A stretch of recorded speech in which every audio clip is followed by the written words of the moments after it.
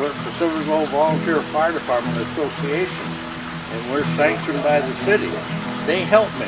Like when I need trouble putting a sign up or taking it down, I can call one or two and they'll come and help me. We put the flags up at the cemetery, they help. We, take them down, we put holes in to hold the flags now so we can find them. We stood alone for years. The worst part was they had a cannery fire, they would call us because we had so many men. I, like I say, I was in charge of volunteers. I had 35 men, and we knew what we were doing. We helped with the Feast of Lanterns, uh, all kinds of stuff. Yes, I helped with the pool. They were having trouble. We've got some money in the bank, so I decided to use some of it. So, and the kids were all for it because it's their inheritance, you know. So, but they said, do it, do it. We want you to do it. So we did it. They tore up some of the pipes and they filled up the sand. So it was, you couldn't fix it then. They mm-hmm. had to tear it out. That's when they decided to try and build a whole new one.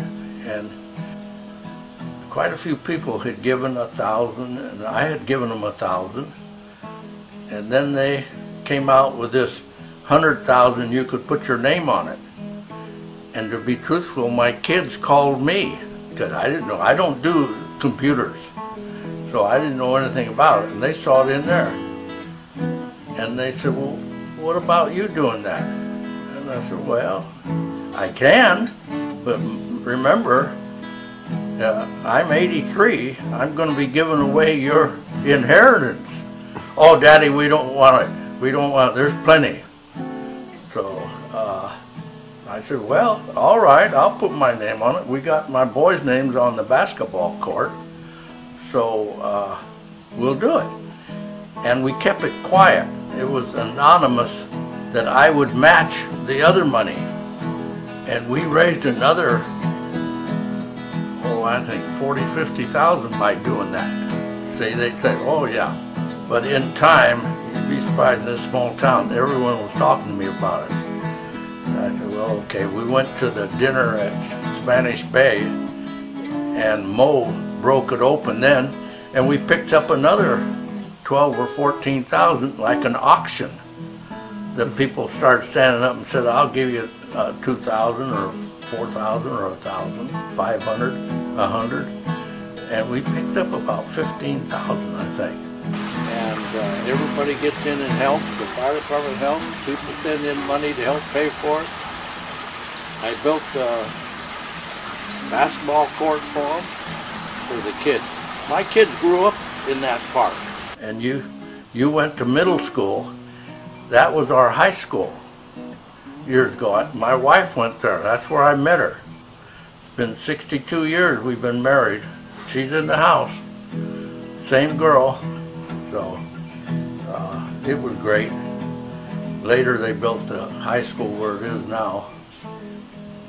We did a lot of, again, the, the fire department and so forth worked up there did a lot of work on putting in bleachers, fencing, all that, which now they have all new. But the volunteers were up there. We built the snack bar, the old snack bar, and the bathrooms out there. They didn't have any. They had porta potties. The volunteers all came up. We'd go up Saturday. The wives would bring lunch. We'd work all day.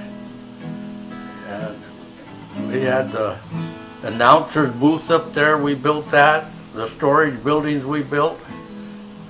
It took us about three years to do that, to build it. Because during football, you get a lot of help. And then after that's over, it kind of slows down we kept Howard Cowan. In fact, I got him to put his name. There's another one. To put his name on the stadium. And it is now technically called Howard Cowan Breaker Stadium. Which was good because he, he worked his tail off. So, I do the what we call the snow in the park. And we have like a, uh, oh, ride, hay ride, uh, horse ride, and then uh,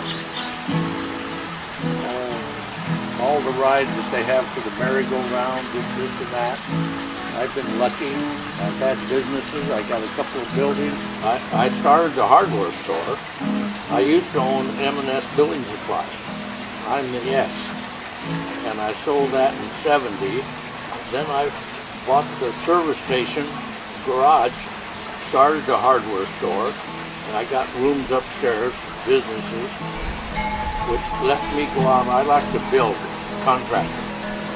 And uh, I built another building for my sister. We had to sell it, so I sold it to myself. So that one's ours now. We got both buildings, and we get a good income coming from that. They're all, well, almost all of them. We got a couple of rooms empty, but we still have a good income coming in. Everything's paid for. So I gave it away. I built some houses for free. It's payback. I think people should give back. You know, when I was a little kid, uh, we didn't have the school buses, so the parents took us to San Francisco to play in the playoffs. We went to oh, the golf course over on uh, up towards Felton up in there somewhere.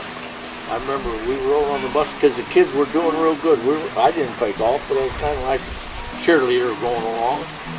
Uh, that was dads doing all that. They had station wagons and cars. Today you can't ride in it now because they'll sue you. But that's the only way we could get anywhere. We went to King City that way. It wasn't easy. My mother was alone, but she she helped build new schools and this and that. She helped pay for those parking lots uptown because that was the thing to do. You know, I don't know, three dollars a month was her share or something for 25 years, and that was a big three dollars probably. So it's not now. Although we have passed a couple of school school bonds, and they're trying to get another one, which I signed for. So we do have a good school system. It's kind of fun. I, you know, I'll, I'll do some work for an hour, and my back gets stiff or my neck. I go sit down, and uh, I might even go to sleep. I, you'd be surprised how much I sleep out here. Take a 15-minute nap, or the phone rings. So, but and the posts out there, I've been painting some of the posts because they they leave it natural, and the wind is just tearing them up, heating it, cracking them, and so forth. It'd be like you standing out there in the sun with no shirt on. Pretty soon you're going to burn up. That's all there is to it. But I love it here. I'm going to die right here. Maybe not the house, but I'm going to die. Here we go.